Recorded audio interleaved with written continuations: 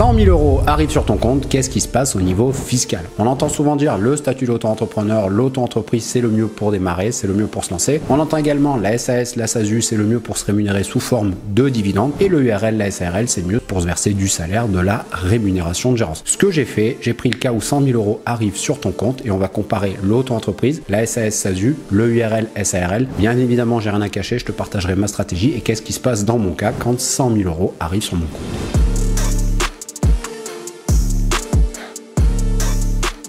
Comme d'habitude, toutes les notes qui me servent de support, qui me servent de script, tu pourras les retrouver dans la description de cette vidéo ou sur mon site karma.net. J'en ferai sûrement un article de blog. On l'a dit et on rentre tout de suite dans le vif du sujet. Premier statut, l'auto-entreprise. Et on entend souvent dire le statut d'auto-entrepreneur, l'auto-entreprise, c'est le mieux pour démarrer, c'est le mieux pour se lancer. Première taxe que tu vas payer quand 100 000 euros arrivent sur ton compte, c'est la TVA. Quand 100 000 euros arrivent sur ton compte, c'est qu'en fait, tu auras eu 100 000 euros TTC. En fait, tu auras fait une facture de 83 333 euros hors taxe. Tu auras donc récolté et reversé 20% de TVA à l'administration fiscale française, à l'État français, donc 16 667 euros de TVA. Alors c'est souvent qu'on me dit oui, mais la TVA, c'est pas une taxe, etc., etc. Tu la recoltes, c'est neutre, etc., etc. Je suis désolé. TVA, dans TVA, il y a écrit taxe. Donc c'est la taxe sur la valeur ajoutée. Et jusqu'à preuve du contraire, tu récoltes et tu reverses 20%. Dans notre exemple, 16 667 euros sans que l'État te paye pour ça. Donc première taxe, la TVA. Deuxième chose que tu vas payer avec ce statut d'auto-entrepreneur, c'est les cotisations sociales. Petit rappel, l'auto-entreprise, le statut d'auto-entrepreneur, la micro-entreprise, le statut de micro-entrepreneur, appelle-le comme tu veux, c'est ni plus ni moins qu'une entreprise individuelle au régime micro. Donc on va le voir, on va avoir des cotisations avec un régime micro-social et après l'impôt sur revenu avec un régime micro-fiscal. Les cotisations sociales, pour simplifier au maximum notre exemple, dans notre cas, on va prendre quelqu'un qui est en prestation de service. Les cotisations sociales vont donc être de 21,1 Bueno, et on va avoir aussi une contribution à la formation professionnelle, le CPF, de 0,2%. Ces cotisations sociales vont être calculées sur ton chiffre d'affaires. Dans notre exemple, quand tu as encaissé 100 000 euros, c'est que tu as fait 83 333 euros de chiffre d'affaires hors taxe. Donc, les cotisations sociales totales de 21,3% vont s'appliquer sur ces 83 333 euros hors taxe. Et donc, on va payer 17 749 euros de cotisations sociales pour être précis. Une fois qu'on a payé ces cotisations sociales, on va également payer de l'impôt sur le revenu je te le rappelle, avec ce statut d'auto-entrepreneur, l'impôt sur le revenu va également s'appliquer sur notre chiffre d'affaires. Dans notre exemple de quelqu'un qui est en prestation de service et qui a reçu 100 000 euros, d'accord, l'administration fiscale française, comme tu es en prestation de service, va te faire un abattement de 34% sur ton chiffre d'affaires, donc un abattement de 34% sur les 83 333 euros pour calculer ce qu'on va appeler ta base imposable. Donc dans notre exemple, ta base imposable va être de 55 000 euros. Et j'ai simplifié au maximum le calcul. J'ai pris quelqu'un, l'exemple de quelqu'un qui est résident fiscal français, célibataire et sans enfant. Donc dans notre exemple, il va payer 9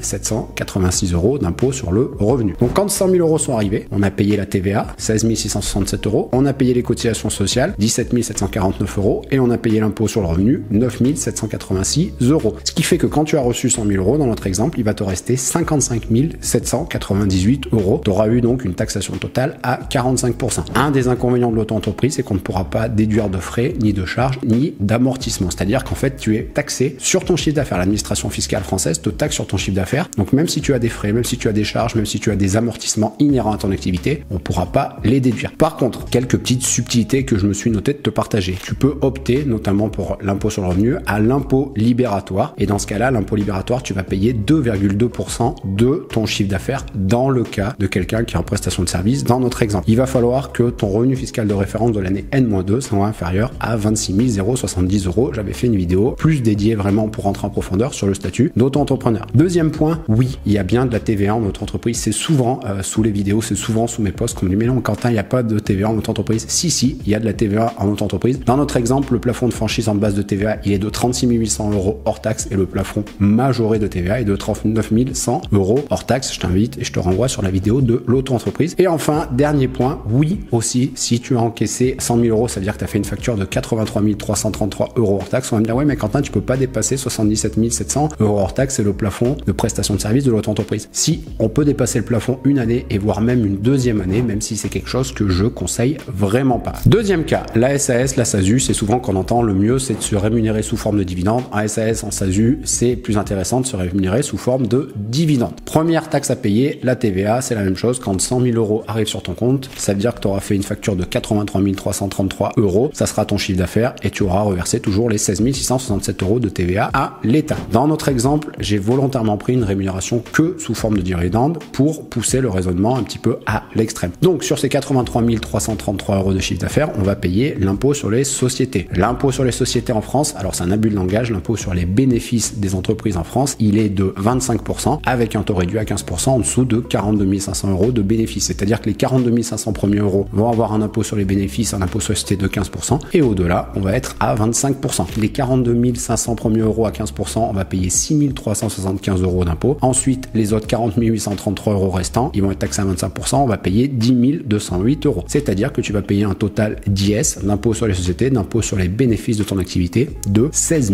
583 euros. Donc, dans ta boîte, il va nous rester, dans notre société, dans notre exemple, si on a encaissé 100 000 euros, on aura payé la TVA, on va payer 16 583 euros d'impôt sur les sociétés, d'impôt sur les bénéfices, il va nous rester 66 750 euros à se verser. Et là, tu vas être soumis à prélèvements sociaux, tu vas être soumis à la flat tax. Alors, il y a une deuxième option, ce qui s'appelle pour le barème progressif. On peut opter pour l'option pour le barème progressif, mais là, pareil, j'ai simplifié au maximum le calcul. On va être soumis à la flat tax qui est de 30%. La flat tax étant un impôt libératoire, dans les 30%, on a 12,8% d'impôt sur le revenu, 17,2% de prélèvements sociaux. On va donc payer 30% sur 66 750 euros. On va donc payer 20 025 euros de flat tax et ensuite tu auras récupéré l'argent. Donc quand tu auras reçu 100 000 euros, tu vas avoir payé la TVA, 16 667 euros. Tu vas avoir payé l'impôt sur les sociétés, 16 583 euros. Et tu vas avoir payé ta flat tax, 20 025 euros. Il va donc te rester 46 725 euros, ce qui te fera une taxation totale à 54%. Pareil, petite subtilité, la flat tax est un impôt libératoire, c'est-à-dire qu'en fait tu vas être libéré de l'impôt sur le revenu dans les 30%, tu l'auras déjà payé. Je te le réexplique, mais la flat tax c'est un impôt de 30% et dedans on a 12,8% d'impôt sur le revenu. Donc quand tu auras payé les 30%, tu auras déjà payé ton impôt sur le revenu. C'est pour ça qu'on dit que c'est un impôt libératoire. Tu seras libéré de l'impôt sur le revenu et tu auras payé aussi tes prélèvements sociaux. Donc tu n'auras plus d'impôt sur le revenu à payer sur tes dividendes. Par contre, attention, ça va quand même augmenter ton revenu fiscal de référence, ça va quand même augmenter ta base imposable. Je vais te donner deux exemples. Si tu es marié, ton conjoint ou ta conjointe et s'il a un salaire, eh ben ça va faire augmenter votre tranche mariale d'imposition de votre foyer fiscal. Si tu as par exemple d'autres revenus, des revenus immobiliers, des revenus fonciers, etc., qui viennent se rajouter dans tes revenus, et eh ben le fait que tu sois rémunéré sous forme de dividende, oui, tu as déjà payé ton impôt sur le revenu, mais ça fait quand même augmenter ta base imposable, augmenter ton revenu fiscal de référence. Troisième cas, la SARL, le URL. Et là, ce qu'on entend souvent, c'est le plus avantageux en SARL, en URL, c'est de se verser du salaire, c'est de se verser de la rémunération de gérance. On parlera de rémunération de gérance quand tu seras majoritaire. Pourquoi? Tout simplement parce que tu auras le statut d'indépendance. Sinon, en SAS ou si tu as un statut égalitaire ou minoritaire, on,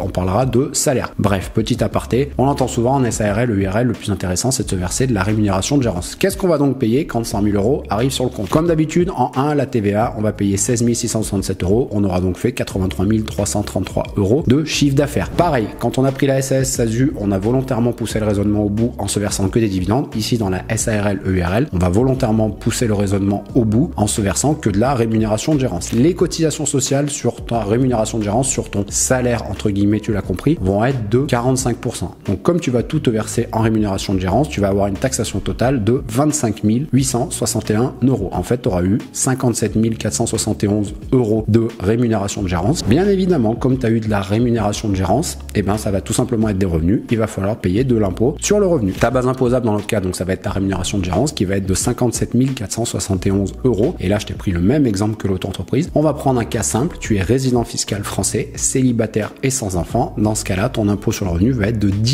528 euros. Ce qui fait taxation totale si tu te verses que de la rémunération de gérance en SARL ou URL, tu vas payer la TVA, tu vas payer les cotisations sociales sur ta rémunération de gérance, 25 861 euros, tu vas payer l'impôt sur le revenu, 10 528 euros. Donc quand tu auras reçu 100 000 euros, en fait, il va te rester 46 943 euros, ce qui fait une taxation totale à 53%. Petit aparté en SARL EURL, plus ta rémunération de gérance va augmenter, plus tu vas avoir des rémunérations de gérance élevées, plus tes cotisations sociales vont baisser. Au début, tes cotisations sociales vont être de 45% et sur les hautes rémunérations, elles vont diminuer 40, 37%, etc., etc. Donc pareil, c'est des calculs à faire. Je te redonne les chiffres avant que je t'explique moi ce qui se passe dans mon cas quand je touche 100 000 euros. L'auto-entreprise On l'a dit, quand 100 000 euros arrivent sur ton compte, il va nous rester 55 798 euros, taxation totale 45%. Quand tu te verses que des dividendes en SAS, SASU, quand 100 000 euros arrivent, il va te rester 46 725 euros, soit une taxation totale à 54%. Et quand tu te verses que de la rémunération de gérance en SARL, EURL et que 100 000 euros sont arrivés sur ton compte, il va te rester 46 943 euros, soit une taxation totale à 53%. Donc tu vois, c'est un peu blanc bonnet, bonnet blanc, mais on a une taxation totale entre 45 et à peu près 55% en France pour, en tout cas, ton activité quand 100 000 euros sont arrivés sur ton compte. Et en 4, ma stratégie quand 100 000 euros arrivent sur ton compte. Alors petit disclaimer, petit aparté, la stratégie que j'utilise, ça s'adapte pas à tout le monde, ça s'adapte pas à toutes les activités. Parfois on peut le mettre en place, parfois pas du tout parce que c'est tout simplement illégal. Donc ce que je voulais, c'est juste le partager pour vraiment être totalement transparent, mais c'est aussi pour ça qu'il y a des rendez-vous perso. Premier point, TVA, je suis soumis à ce qu'on appelle l'auto-liquidation de la TVA. Donc tout simplement quand 100 000 euros arrivent sur mon compte, en fait, je vais tout simplement avoir les 100 000 euros, donc j'aurai pas à récolter et reverser les 20%. Donc déjà, le premier avantage, c'est quand 100 000 arrivent sur mon compte, il me reste 100 000 euros. Ensuite, l'impôt sur les sociétés. Selon le type de structure que j'utilise, il y en a deux, soit la domestique, soit la GBC. Je vais avoir un impôt sur les bénéfices soit de 15%, soit de 3%. Aujourd'hui, la structure que j'ai et qui risque de euh, me suivre toute ma vie, c'est une domestique taxée à 15%. J'utilise pas la société taxée à 3%. Il va donc me rester 85 000 euros après avoir payé mon IS, mon impôt sur les sociétés, mon impôt sur les bénéfices. Je t'ai fait l'autre exemple. Si j'avais utilisé l'autre structure, j'aurais eu un impôt sur les bénéfices, et eh ben uniquement de 3 000 euros, il me serait resté 97 000 euros. Quand je veux me verser des dividendes, pareil, je vais être soumis à une imposition sur les dividendes. Comme je suis résident fiscal français, la convention fiscale entre les sociétés que j'utilise et la France nous donne un crédit d'impôt de 25% du montant brut des dividendes versés. Admettons que je me verse 100 000 euros de dividendes pour que tu comprennes le calcul. En France, j'aurais dû payer 30%. Et comme j'ai un crédit d'impôt de 25% du montant brut des dividendes versés des 100 000, en fait, je ne paye que 5% d'impôt sur mes dividendes. Je t'ai pris le cas de la domestique. Donc ça, c'est la structure que j'ai, taxé à 15%. On l'a dit, il nous reste 85 000 euros. 5% de 85 000 euros, ça fait 4 250 euros. Et je t'ai aussi fait le calcul pour le cas de la GBC. Il me serait resté 97 000 euros. 5% sur les 97 000 euros, ça fait 4 850 euros de dividendes. Donc une fois que j'ai payé les 15% d'impôt sur les bénéfices et les 4 250 euros, l'argent est à moi. C'est-à-dire qu'en fait, quand j'ai reçu 100 000 euros, il va me rester 80 750 euros. J'aurais donc eu une taxation à 19%. Et si j'avais utilisé l'autre structure, il me serait resté 92 150 euros. J'aurais donc une taxation totale à 8%. Et pareil, c'est le même principe. J'ai déjà payé mon impôt sur revenu. C'est ce qu'on appelle un impôt libératoire. Par contre, bien évidemment, comme dans le cas de la flat tax, ça fait augmenter ma base imposable. Si tu veux aller un petit peu plus loin, travaille avec moi, travaille avec nous, c'est sur mon profil, sur mon site et dans la description de cette vidéo. J'espère que ça t'a plu. N'hésite pas à nous mettre un gros like pour le travail de recherche et pour mon monteur vidéo. Tu peux poser avec grand plaisir toutes tes questions en commentaire. J'y répondrai personnellement. Si tu as des sujets de vidéos que tu as envie que je traite, etc., et bien pareil, n'hésite pas à nous C'est toujours un plaisir de te faire du contenu. Et moi, je te dis à la semaine prochaine pour une nouvelle vidéo.